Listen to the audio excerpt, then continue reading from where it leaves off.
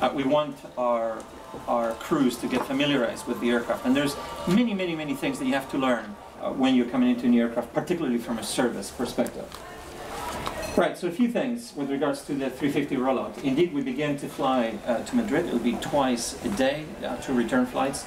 You may wonder why Madrid. It makes a tremendous amount of sense because already our partner sister like Iberia, has the 350. They've got, I think, five in total at the moment. They will be able to assist us with uh, turning the aircraft around, etc.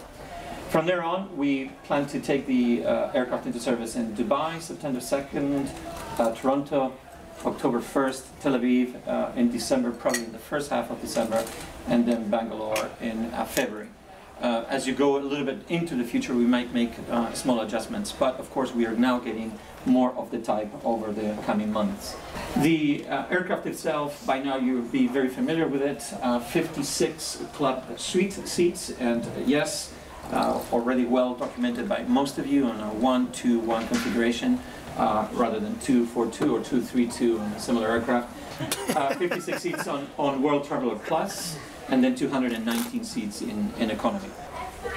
A, a, very, very good configuration. Substitute the 747 in some of the markets where we have seen just a tiny bit less of premium uh, demand. But with this uh, fantastic club suite, we will be able to address those markets uh, even better.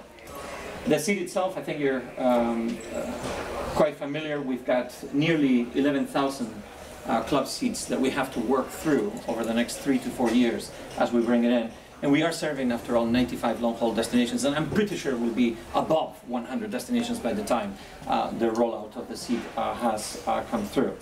The seat is just one part of the investment. It is a significant part of the investment. Of course, it's very visible.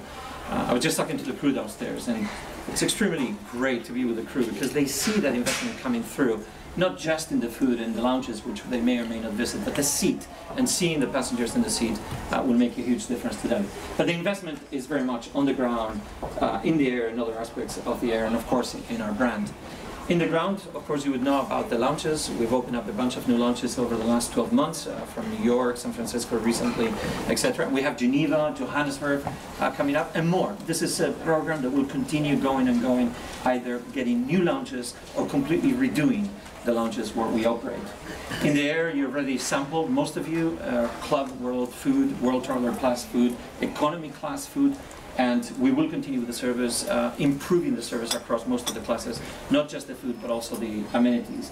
Uh, we believe that there's still scope to continue doing a number of things to, to the products, particularly the premium products.